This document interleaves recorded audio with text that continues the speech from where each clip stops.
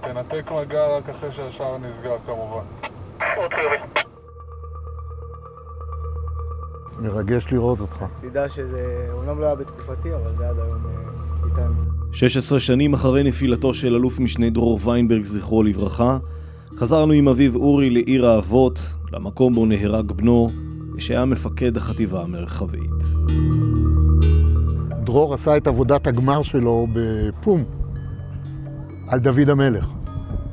כשאתה קורא את זה היום, ואתה מכיר את דרור, אז אתה לא מתפלא. כשדרור קיבל את, הפיקוד אה, אה, אה, על החטיבה, אחד הדברים הראשונים שדרור שינה, לא הולכים יותר עם כובעי פלדה.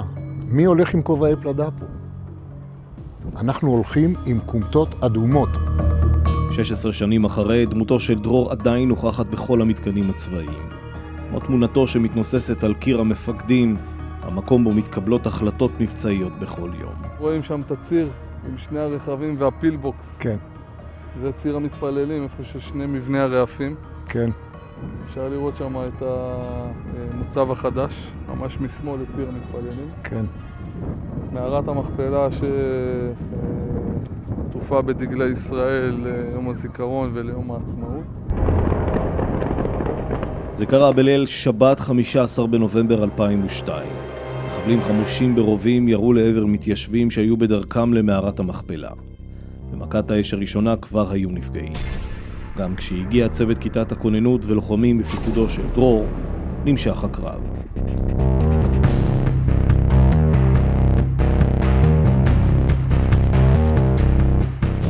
מגיע מכאן, הוא יוצא מהחטיבה, עולה את רחוב הנביאים, חוזר בחזרה, מגיע מכאן, ולמעשה אנחנו נוסעים עכשיו בדרכו, כשהוא כרגע בשלב הזה יודע שיש נפגעים, יודע שיש אש בתוך הסמטה, פחות או יותר, ומה שהוא עושה, הוא נוסע לשם קודם כל. מגיע לצומת 206, ולמעשה נכנס לתוך הצומת, ויורד לכיוון הנתיב שממנו נעים המתפללים מקריית ארבע למערת המכפלה. הוא רואה מולו את הציר עצמו, הוא מבין שהאירוע קורה בתוך הציר. אנחנו כנראה לעולם לא נבין מה הייתה תמונת העולם המלאה אצלו. ומה שהוא עושה, הוא מגיע לפנייה ימינה ונכנס ימינה עם הג'יפ לתוך הסמטה. דרור מגיע לכאן, שכמה דקות לפני כן אפשר לראות ברחוב היותר דרומי, דרור עולה את רחוב הנביאים. בפועל הוא נמצא דרומית למחבלים. הוא רק לא מבין את זה. כן. זה היה. זה היה. יוני בלייכר, תושב היישוב היהודי חברון, השתתף בקרב. לצידו של דרור הוא לחם בחוליית המחבלים. בנקודה בה נפגע דרור מאש המחבלים הוא מתאר היטב מי היה עבורו דרור ויינברג. יש אירוע, דרור הוא הראשון שיקפוץ לשם. כשאני מדבר עם חיילים, אני אומר, דבר ראשון שאצל דרור היה, הדבר העיקרי זה הדוגמה האישית. הוא לא משאיר את העבודה לאף אחד, הוא זה מפקד צועד בראש. לאחר הפיגוע צה"ל ערך מבצע נרחב. הרג מחבלים, עצר פעילים שהשתתפו או סייעו בפיגוע, והבית ממנו ירו המחבלים על הכוחות פוצץ. כל פעם שאני בא לכאן, אה, מלבד הכעס, הכעס שנבנים פה בתים, במקום שבני נהרג, התחושה היא נוראית. זה קשה, קשה להסביר.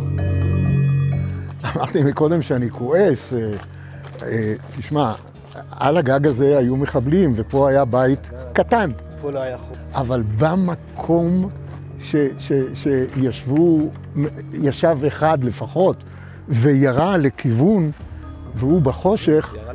אז כן, הנה ה... במהלך הסיור ביקר אורי עם המח"ט אלוף משנה איציק כהן במערת המכפלה. רגע מרגש היה כשאורי מתאר את הקשר של בנו למקום הקדוש. הראשון שנתן הוראה להקים, לעשות צל למאות ואלפי המתפללים שמצטופפים פה במקום הזה, בין אברהם לבין יעקב. הרחבה הזו של היהודים היה דרור. אם אינני טועה, הוא נתן את ההוראה במסגרת הצבאית שלו להקים את הסככה הזו. הפיגוע והקרב בציר המתפללים הפך לסיפור מיתולוגי של גבורה והגנה על עיר האבות. הקרב שהסתיים במותם של 12 חללים, לוחמים לצד מתיישבים, חברי כיתת הכוננות, גיבורים שבמותם ציוו לנו את החיים.